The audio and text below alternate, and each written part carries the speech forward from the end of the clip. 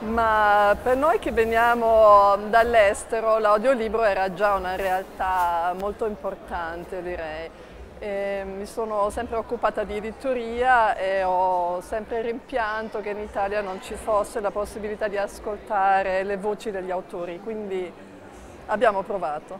Eh, ci sono due vantaggi degli audiolibri. Uno è un vantaggio pratico, cioè si può leggere anche quando uno ha le mani e gli occhi occupati, quindi guidando, cucinando, facendo un puzzle di 5.000 pezzi, dipingendo una sedia.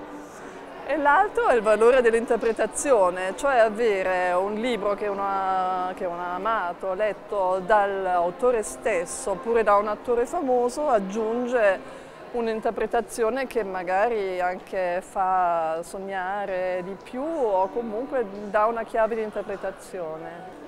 Io se devo ragionare per questi cinque anni passati abbiamo cominciato con, con il dover spiegare che l'audiolibro non è destinato ai ciechi, perché questa era l'obiezione, ma io non sono mica cieco. Volevamo fare addirittura un convegno su questo ma adesso siamo arrivati a un punto in cui ci chiedono ah, quale, quali nuovi titoli avete pubblicato, quindi penso che siamo arrivati anche a essere accettati. È motivato da un lato ehm, dalla questione quale è un libro adatto a essere letto ad alta voce.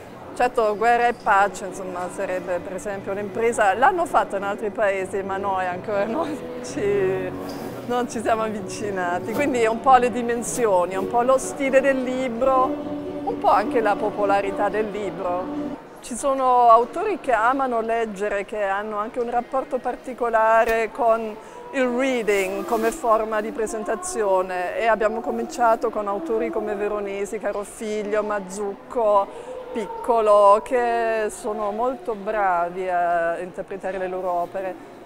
Ci sono anche autori che non amano leggere le loro opere, come la Agus, e allora siamo, abbiamo scelto un'attrice praticamente adatta, che era Margherita Bui, e poi ci sono i classici, oppure i libri in lingua straniera che non possono essere letti dai loro autori, ahimè, come i libri di Jane Austen, ne abbiamo trovato Paola Cortellesi, oppure Claudio Santamaria per Simenon, e quindi sono abbinamenti che mm, insomma, ci, ci piacciono molto e aggiungono effettivamente una dimensione. Allora, abbiamo alcuni best seller, mm, diciamo Caro figlio con testimone inconsapevole è andato molto bene, ehm, L'eleganza del riccio di Muriel Barbery, sta andando molto bene l'Odissea, sta andando molto bene Jane Austen.